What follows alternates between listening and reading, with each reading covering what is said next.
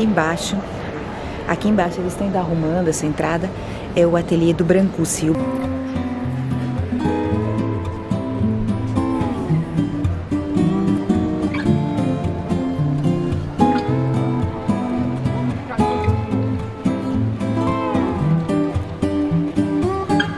Brancusi foi o escultor que mudou também uns, vários paradigmas da arte e é muito interessante que aqui a gente pode ver a reconstrução dos quatro ateliês que ele teve aqui em Paris. Na verdade, todo o grande, o grande corpo do trabalho do Brancusi foi produzido em Paris, no 15º arrondissement. Na verdade, ele teve dois locais diferentes e ele foi incorporando salas para aumentar esse estúdio.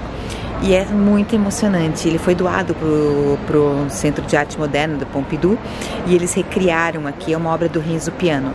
É muito emocionante, sério. Eu vi as ferramentas, a forma, sabe como tá, como ele distribuía o espaço. Eles não tentaram que fosse tipo igualzinho que estava na hora da morte, mas que que a gente vendo, entrando nesse ateliê, a gente tivesse essa exata sensação de como ele trabalhava. E isso a gente tem e é muito, muito emocionante, é lindo.